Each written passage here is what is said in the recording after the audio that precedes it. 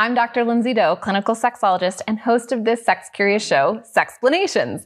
This episode is sponsored by the ever so delightful adamandeve.com. I'm going to remind you about this at the end.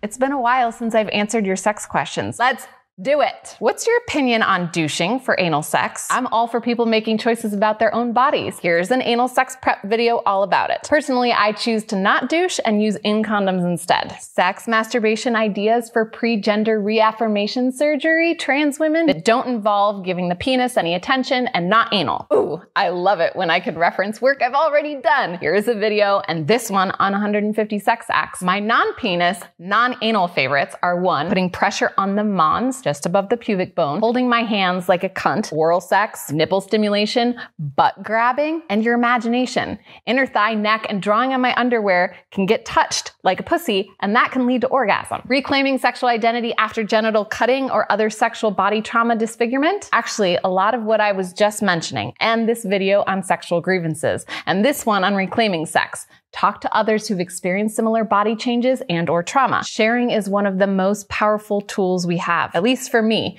It helps me move through grief to acceptance and reclamation. How soon in advance could you reasonably give consent? You can agree to something way in advance. Like I agreed to be dressed in mushroom spore pajamas when I die so that my body decomposes rather than polluting the planet. I was back in 2011. Consent is an intent in a specific context. Agree to do something and then check in again at the time. Things change, minds change, context changes. It's okay to be disappointed. It's not okay to rape. Is it harmful to masturbate in prone position without erection being a male, prone as in on your stomach. In this video, I briefly mentioned traumatic masturbatory syndrome, masturbating in a prone position, often for long durations without other forms of stimulation, which is correlated with erectile difficulty. With or without an erection, it is noted by clinicians that rubbing against surfaces like one's bed or underwear may, quote, deaden the tissue. More about it in the description. Is there a way to stop wanting it? Because Oh boy, is it distracting. Wanting it like sex? Consult an endocrinologist about changes in your hormones. Remove hormone producing body parts like testicles and ovaries. Exercise a lot.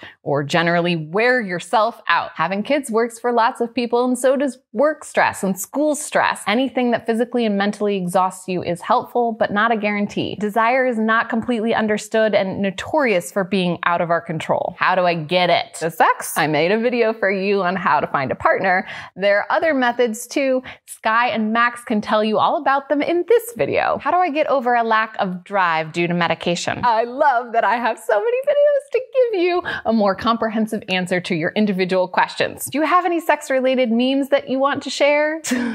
Gray sweatpants. This is a real thing. And I love that it makes me think about things like, is this sexualizing men?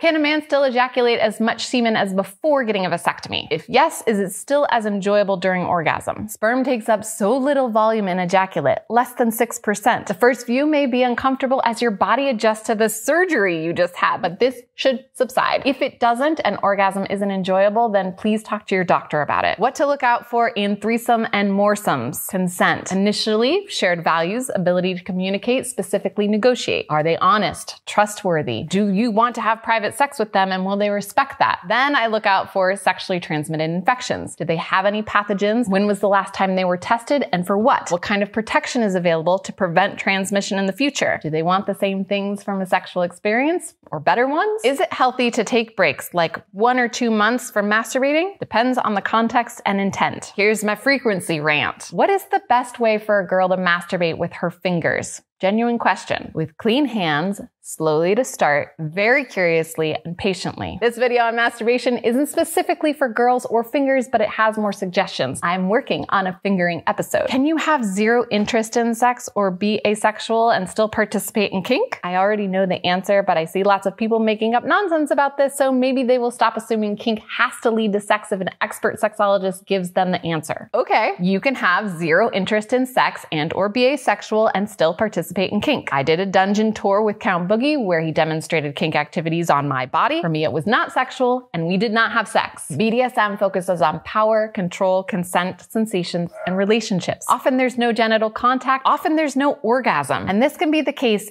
even if you're a highly sexual person interested in having sex. How to be more comfortable, confident, self-assured, especially in dom sub roles where someone may be more comfortable in one dynamic but wants to be more comfortable with the other two. When I first started Sexplanations, I didn't know how to host a YouTube channel. To learn, I watched other YouTubers, specifically their blooper reels, which helped me take things in stride and not expect perfection. So ask other subs and doms to share their victories and mistakes with you. Having a mentor can make an enormous difference. For example, Nicholas Jenkins was mine for a lot of sexplanations. He gave solid direction and held a safe place for me to practice. Fortunately, a lot of what you learn now, as opposed to when you were a child, is built on a vast foundation of knowledge and abilities. Hosting, for example, was new, but teaching and dancing and asking questions and being a good friend were skills I already had which applied to the part of being your teacher. Find someone you respect to guide you and put in time, a lot of intentional time learning and stay curious. You do not need toys to be happy or sexual, but public cervix announcement,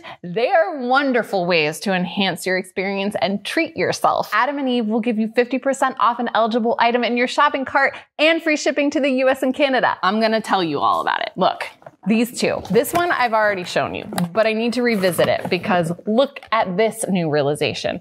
You can take off this end and you can take off this end and you can press this power button to make it vibrate. On one side, it has studs. On the other side, it has ribs. This is great for personal diversity and docking. Who dicks? Right? This one this one has been inside my body. It was a great experience. Remember?